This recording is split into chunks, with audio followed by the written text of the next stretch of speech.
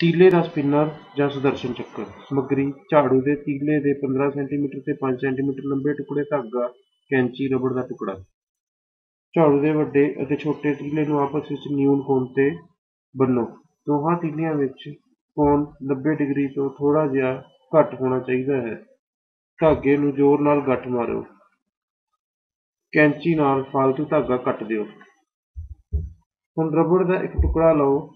ਇਸ ਵਿੱਚ ਕੈਂਚੀ ਦੇ ਨੁਕੀਲੇ ਸਿਰੇ ਨਾਲ ਛੇਦ ਕਰੋ।